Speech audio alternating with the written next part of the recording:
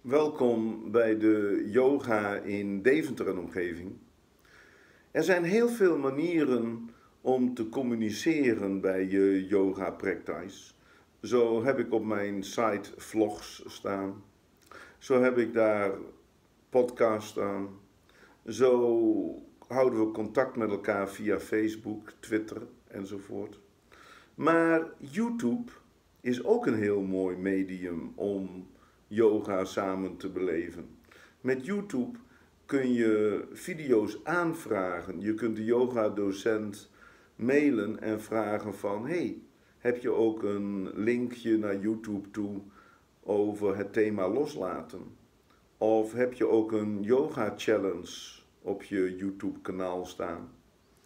En daarom is YouTube ook heel mooi, want de kwaliteit is heel goed. Je hebt het gevoel alsof de yoga-leraar bij jou in huis zit. Je kunt via andere medium nog communiceren met de yoga-leraar als je vragen hebt over een yoga-filmpje wat je ontvangt. Dan kun je daar vragen over stellen. Dus kortom, YouTube is heel mooi verbonden met yoga. Ik heb intussen al honderden yoga-video's op YouTube gezet. En sommigen openbaar, daar kan iedereen gewoon bij. Maar ook op bestelling. Die zijn verborgen. Dus als ik jou een linkje stuur van de YouTube-video, dan ontvang je. Maar hij is niet openbaar te zien op YouTube of via Google te vinden. En dat is ook een beetje omdat soms hebben die films, die video's, een instructie nodig. Of er is een andere reden met privacy.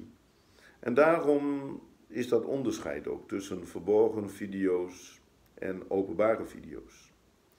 Maar wil jij gebruik maken van dit mooie medium, dat je een video zoekt met een bepaald thema over de ademhaling of over hyperventilatie enzovoort, mail mij dan eens en dan stuur ik jou een linkje toe naar een YouTube video met het betreffende thema.